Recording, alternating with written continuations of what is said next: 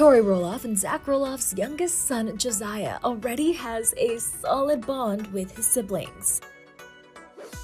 On Monday, the proud parents shared a precious photo of their five month old son along with an update on his latest milestones. Josiah officially got kicked out of mom and dad's room, even though he still doesn't want to sleep through the night. He started eating solids, he loves oatmeal and sweet potatoes. Si is rolling and figuring out how to get around. Si loves his siblings most of all, Tori wrote on Instagram.